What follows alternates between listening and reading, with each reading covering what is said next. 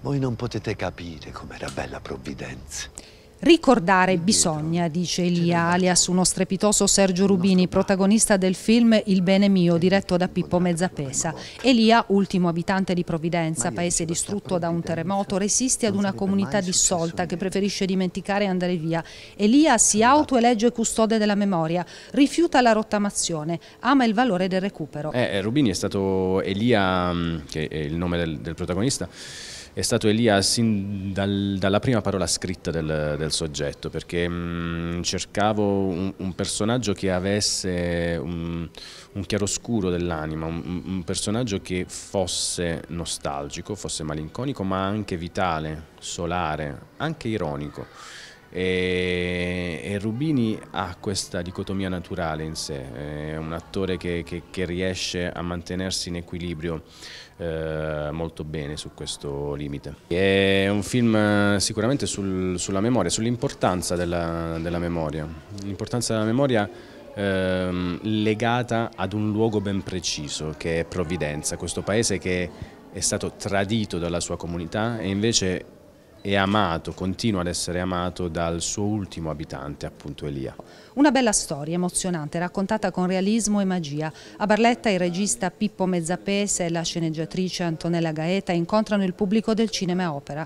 Applausi per il Bene Mio a Venezia, evento speciale nelle giornate degli autori dell'ultima edizione del festival. Questo film devo dire che sta dando tante emozioni. Eh, gli applausi di Venezia sono stati scroscianti, sono stati lunghi e sono stati un bel premio per me, per il film e per tutti i miei compagni di viaggio. È l'impegno sociale e civile dell'ottimo Mezzapesa, nativo di Bitonto e da sempre legato all'identità e alle radici del territorio e delle comunità del sud. L'anteprima ad Amatrice.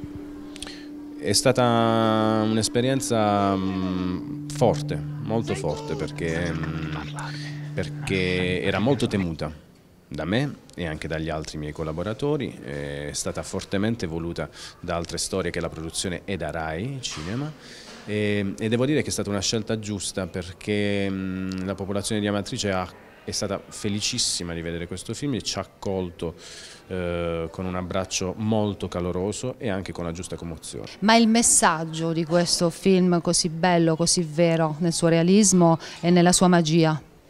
Il messaggio è l'invito a conservare pura e fedele la memoria del nostro passato recente, recentissimo, è un paese smemorato, è quello che temiamo di più. E adesso ci sembra, proprio in questo particolare periodo, che si tenda a fare tabula rasa di quello che è stato, impariamo, eh, l'invito a imparare da quello che è stato per non ripetere gli stessi errori e di contro recuperare il passato per eh, come dire, costruire un futuro che sia all'altezza di quel passato. Il cinema può aiutare tutto questo? Il cinema è una risorsa grandissima che dobbiamo custodire così come custodisce Elia il ricordo del suo paese. Fermi! Che avete visto una donna? Sento che c'è qualcosa di strano in paese.